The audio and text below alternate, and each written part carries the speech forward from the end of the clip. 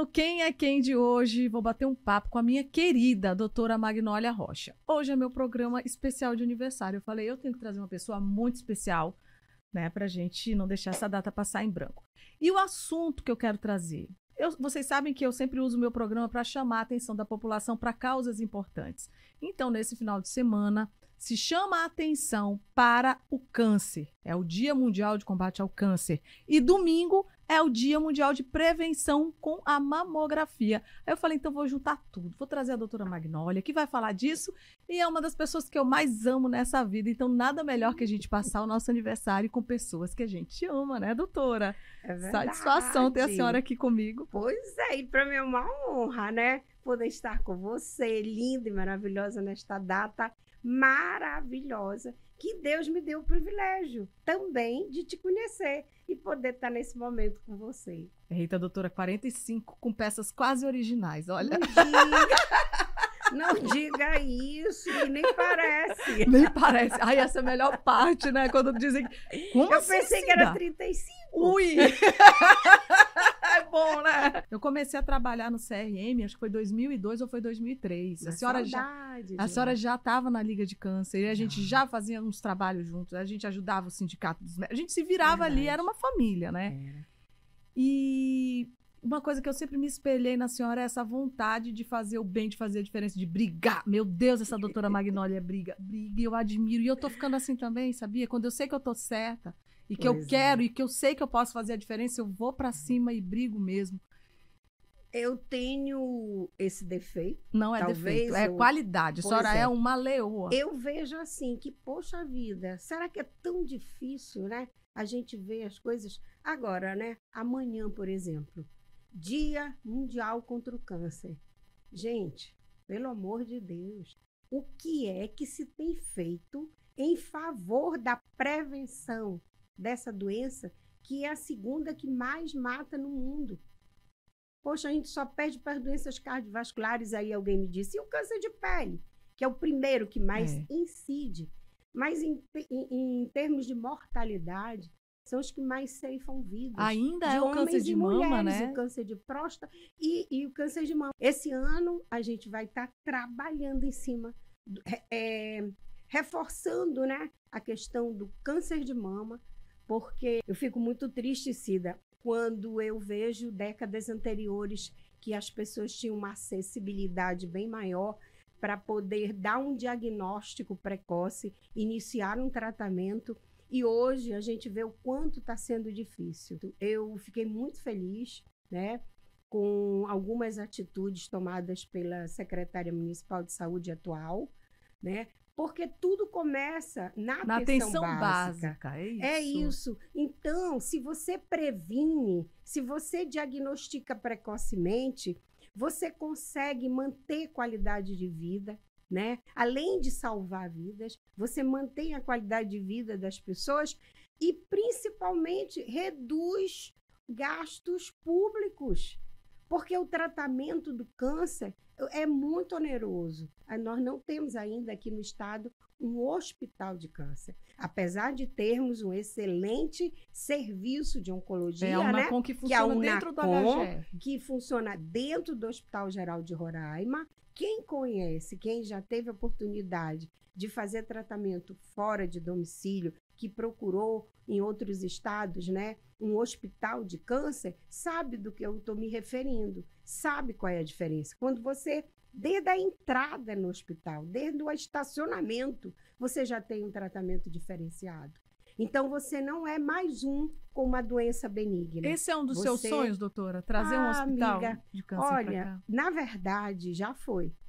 Né? Logo que eu cheguei aqui, era este o meu sonho: ter um hospital. E na época, o Otomar de Souza Pinto fez de tudo.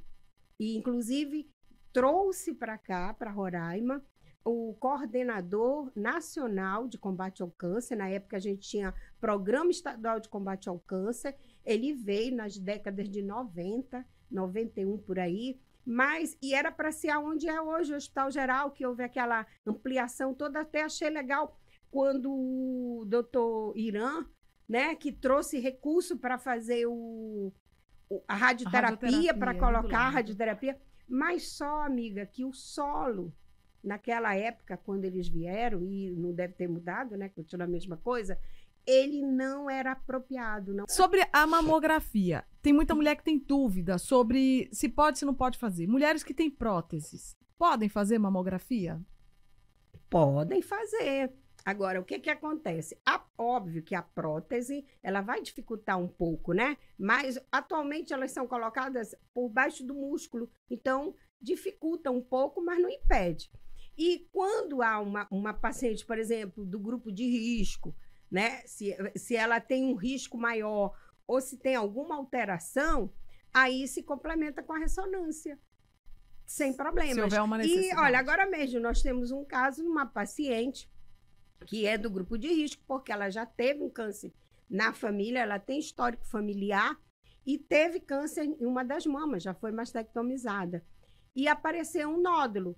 Na mamografia não deu nada, na ultrassonografia não deu nada Nossa. e na, ultra, e na ressonância surgiu. Na ultrassom apareceu como a gente chama de linfonodo, que são gângliozinhos que protegem, né? A mama também. E aí surgiu. Então, nós achamos que é o linfonodo, mas e aí? Tem Na que dúvida- esclarecer. Aí repete o exame, já que os outros dois deram negativo. E se persistir, biopsia. E no caso Essa é dessa conduta. paciente, Não, se persistir, eu ainda não tenho re- o Ah, retorno, tá. mas se persistir a alteração, mas eu digo assim, para você ver que tem. que você investigar, não que tem, tem que se aprofundar. Não Justamente. pode se- Então, justamente. Se tem dúvida, não pode se acomodar. Não pode. Pacientes com maior risco. Outra coisa, olha, é muito comum as pessoas, às vezes, é porque tem as desleixadas. Eu tô nesse grupo. Hã? Como assim? Eu sou obrigada a reconhecer, né? Eu tô o quê? Há Uns três anos que eu não faço Eu, mamografia, três não acredita? anos que eu então fiz. estamos em empate. Vamos ter que fazer mesmo. Vamos Eu já fazer. disse, olha, agora com 4.5 vou dar uma geral na lataria, vou fazer tudo, vou dar uma olhada em tudo aí para ver o que. Pois é, olha lá. E eu sou de risco, né? Tudo bem, eu não tenho herança histórico na família, mas sou obesa, sedentária, tudo fator de risco, ó. Tudo que eu, pre- eu precisaria fazer e não faço. Que pra gente se proteger, a gente também tem que fazer a nossa parte, né? Mas tem aquelas que também são exageradas, né? Aí querem fazer mamografia, se pudesse fazer de seis, seis meses. Eu quero alertar que a radiação É isso que eu ia dizer. ionizante é um fator de risco. Isso que eu ia lhe perguntar também. Qual é a Então, periodicidade da mamografia, doutora? Para aquelas mulheres que não, tão, não estão incluídas no grupo de risco, a gente vai dizer o grupo de risco, elas podem fazer a partir dos. A, a- Sociedade Brasileira de Mastologia recomenda a primeira mamografia com 35 anos. A partir dos 40, você vai fazer, de acordo com a recomendação médica, a cada dois anos, é a média. Então eu tô furada só um Entendeu? ano aí. Eu só É. furei um ano Meu aí. caso, o meu caso. Ah, então, a cada dois anos. Agora, cada caso é um caso. Então, se você tem uma mulher que a gente considera que tem, que está dentro do grupo de risco, o que, que é grupo de risco? Aquelas pessoas que já tiveram casos de câncer de mama na, em parentes próximos, né? Então, irmã, mãe, prima, né?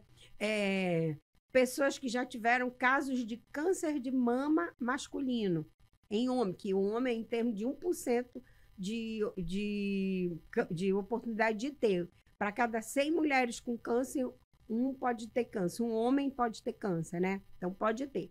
E agora, então, com esses homens que vivem se bombando aí, tomando hormônio, não sei o quê, se tiver é, risco, eles podem desenvolver e vir a ter um câncer de mama. Mas a probabilidade é menor. Bem, mas a- a- é, o uso de medicamentos hormonais, principalmente anticoncepcional, por um, um tempo prolongado, e que, que seja aquele associado estrogênio e progesterona, aumenta o risco.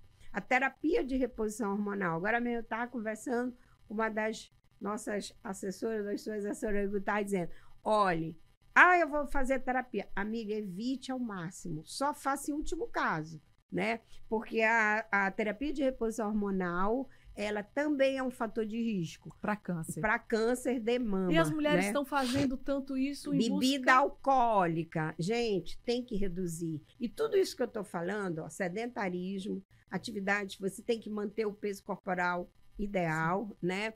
Você tem que fazer atividade física rotineiramente, manter o peso corporal, é, alimentação saudável, né? Evitar carnes processadas, que é tudo que a gente gosta, né? Pois é. Salame, salsicha. Eu não deixo muito entrar em casa, não, essas coisas. Pois é, não. olha. Deixo não. Então, as carnes processadas e reduzir a ingestão de bebida alcoólica. Que o que, lamentavelmente, óbvio que o fumo, né, é um dos fatores também. E quando associa fumo ao álcool aí, que é pior mesmo. Mas a gente pede para essas meninas, né, as jovens, que reduzam um pouco a ingestão de bebida alcoólica, porque isso já está provado, não só para o câncer de mama, mas principalmente para o câncer de intestino, câncer de boca, que aí afeta boca, laringe, faringe, quer dizer, você se agride e esses são fatores que você pode evitar, né? Os São genéticos e os reprodutivos poderá ou não. Genético não tem como evitar, né? Agora sim. Mas os reprodutivos, por exemplo, amamentar. Gente, a coisa melhor, o fator mais importante para proteger a mama é a amamentação. E às vezes as pessoas, as mulheres não querem amamentar. Então, então resumindo o raio, o- a mamografia, gente, já, né? Que dia 5 é o dia é, que a gente. É o dia de alerta, né? O dia da mamografia, como a gente costuma dizer. Então, por favor, lembrem-se que o importante é você, o mais importante, independente da hum, idade, de, de qual, é palpar as mamas, é fazer o autoexame. Eu, antigamente, eu ressaltava muito, depois comecei a priorizar a mamografia, mas hoje, Cida, é, eu tenho priorizado e alertado mais quanto ao autoexame, justamente. O toque, que a própria mulher se toque. Por quê? Infelizmente, a gente tem diagnosticado muitas mulheres com menos de 40 anos com câncer de mama. E veja, é uma faixa etária que nem se recomenda fazer a Pois mamografia. é, a Porque mama a muito mama está densa e não favorece a visualização das microcalcificações, que é aquela, aquele grupamento de células anormais que vão formando o nódulo. E como a imagem na mamografia é branca e essas microcalcificações emboladinhas, elas são brancas, a gente não consegue Aí visualizar. Então, mas aí, pelo menos, se a mulher tiver o hábito de se autoexaminar, então ela vai procurar nódulos na mama, na axila, e só tem um jeito, palpando. Durante o banho, a mão ensaboada favorece o deslizamento, você tem como descobrir, né? E, e, na verdade, não é nem descobrir, porque a gente não quer descobrir nódulo, mas a gente quer que cada uma mulher conheça a sua mama, conheça seu corpo. Se ela palpa antes da menstruação, depois da menstruação, é, durante o banho, Qual é a melhor deitada época para a mulher fazer esse autoexame? após a menstruação. Após a menstruação. É porque antes você tá com a mama turgida, né? Ela fica porque há uma concentração de líquido no corpo. Então aí ela fica mais sensível à dor, né? E aí as glândulas, porque ela é, lembra que eu falei que ela é uma estrutura como cacho de uva, né? Então essas glândulas estão túrgidas, né? Estão, né? E elas Ah, ficam tá, tipo mais uma, tá tipo as uvas itálias aí. é, isso aí. As uvinhas bem cheinhas. Verdade. Aí você não esqueça também da naxila. Axila. Então, nódo de naxila, na mama, olha no espelho, areola, né? A papila da mama, aquele bicozinho da mama, essa área, qualquer alteração. Doutora, diz que. Diz que secreção vou até que perguntar: existe uma lenda de que a mulher pode. que está com o bico do peito invertido, isso pode ser um sinal de câncer? Se ela não tinha antes. Mas tem mulheres que já nascem com aquilo, vai ah, Pra desenvolvendo, é, entendeu? Mas se de repente ela tem a papila normal, né? E de repente aquilo começou a introvertir, né? A, a repuxar, pode ser que seja um nódulo retroareolar Que tá que puxando. esteja justamente, Ah. entendeu? Pensando, né? A pele avermelhada, Cuidado com a pele avermelhada. Pele avermelhada não quer dizer que seja câncer. Ela precisa ter aquela característica de casca de laranja da terra, que é aquela casca grossa, assim, meio cheio de furinho, né? Então, não necessariamente só porque é vermelha.